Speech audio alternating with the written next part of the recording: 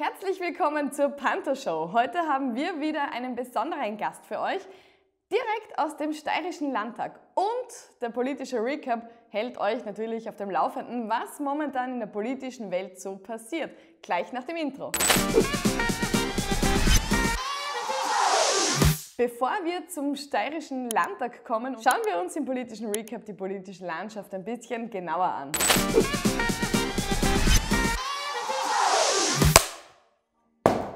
Habt ihr mitbekommen, dass die Türkei aus der Istanbul-Konvention ausgetreten ist? Also das klingt ja ein bisschen ironisch, weil es ja die Istanbul-Konvention heißt. Und das österreichische Außenministerium, naja, das bedauert diese Entscheidung zutiefst, weil die Konvention als Ziel hat, Frauen und Mädchen vor Gewalt zu schützen. Ja, jetzt hat eine Frauenrechtsorganisation angegeben, dass allein in der Türkei im vergangenen Jahr 300 oder mehr als 300 Frauen ermordet worden sind von Männern. Wir hoffen auf weitere Aufklärung und auf Prävention, damit die Gewalt an Frauen und an Mädchen ein Ende hat. Wir kommen jetzt zu einem positiveren Thema. Und zwar hat der Landesrat Hans Seitinger darauf aufmerksam gemacht, wie wichtig unsere Ressource in der Steiermark das Wasser ist. Wusstet ihr zum Beispiel, dass rund 70 Prozent der Erdoberfläche Wasser ist? Oder dass wir zu 100 Prozent das steirische Wasser aus Grund- und Quellwasser beziehen? Oder dass, und das finde ich besonders spannend, 100 Milliarden Liter Wasser, steirisches Wasser, nach Wien geleitet werden pro Jahr? Ja, schon recht spannend. Pro Tag braucht eine Steirerin oder ein Steirer durchschnittlich um die 140 Liter Wasser. Ist ja auch eine Tatsache, die durchaus erwähnenswert ist. Deswegen, wir sollten in der Steiermark unbedingt auf unsere wichtige Ressource, das Wasser, aufpassen. Was in der Politik alles so passiert ist, das wissen wir jetzt. Nun möchten wir aber in den steirischen Landtag ein bisschen genauer reinhören und das machen wir jetzt. Liebe Panthertime-Zuseher und Zuseherinnen, mein Name ist Matthias Bockhorn. Ich bin seit knapp einem Jahr ähm, Abgeordneter zum Steiermärkischen Landtag. Ich komme aus Bremstetten, aus, der, äh, aus Graz Umgebung. Ich bin der Gesundheitssprecher der ÖVP im Landtag. Ähm, vom Beruf her bin ich Arzt und meine, Haupt, meine Hauptthemen in letzter Zeit waren die Corona-Krise, die Pandemie und natürlich alles um die Bereiche Gesundheit, Gesellschaft und Bildung. Angefangen hat meine politische Karriere bei der JVP Bremstetten. Ich habe die im Jahr 2015 gegründet, bin dann ähm, Bezirksobmann von Graz Umgebung geworden und bin seit knapp einem Jahr ähm, Landesobmann Stellvertreter der JVP Steiermark. Heute geht es im Landtag vor allem um die Themen ähm, Impfdashboard, Contact Tracing und die Einführung der E-Medikation bei den Hausärzten. Ähm, das geht um das rezeptfreie Holen von Medikamenten in den Apotheken. Ähm, man sieht, manchmal ist nicht nur ein Schaden da, sondern ein Nutzen auch. Und das kann man wirklich sagen, es ist ein Digitalisierungsschub bei uns jetzt im Gange, der wirklich sehr positiv aufgenommen wird. Auch in den Bereichen der Bildung, in den Schulen.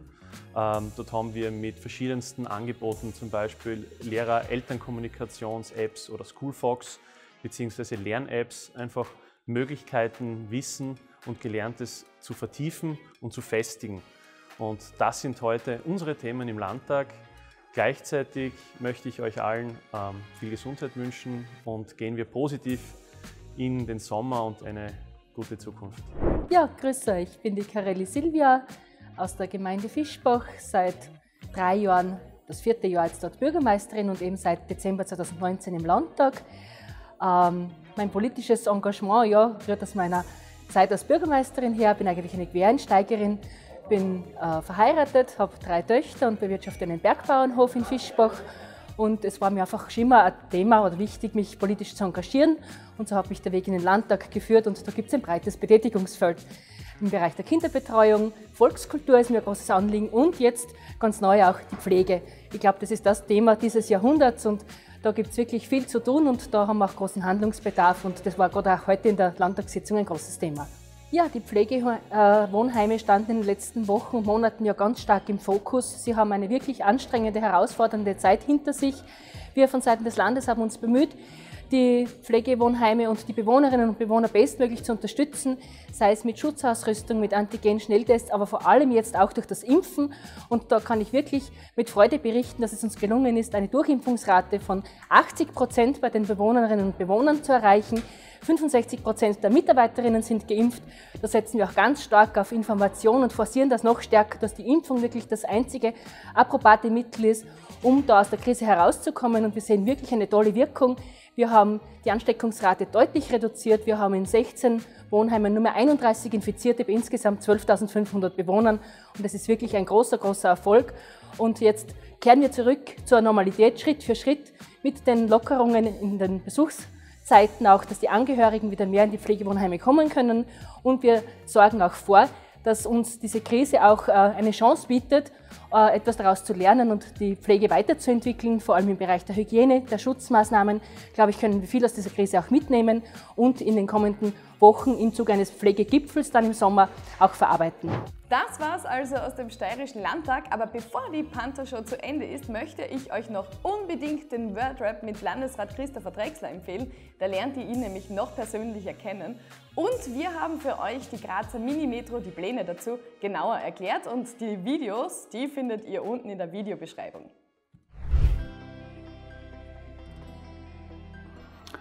Ich in Halbsätzen spreche. Hermann Schützenhöfer und Gerhard Hirschmann. Noch mehr Sprachen können als ich. Kein Frühstück gegessen habe. Das führt dazu, dass immer mehr Menschen Tag für Tag ein- und auspendeln müssen und sich auch innerstädtisch bewegen. Die Herausforderung ist also ein Konzept für den öffentlichen Verkehr zu finden, das so attraktiv und gut gelöst ist, dass die Menschen immer mehr auf das Auto verzichten und trotzdem schnellstmöglich von A nach B kommen. Für heute war es das von der Panther Show. Wenn euch das Video gefallen hat, liked es natürlich, abonniert unseren Kanal und gerne kommentiert, was das Zeug hält. Bis zum nächsten Video.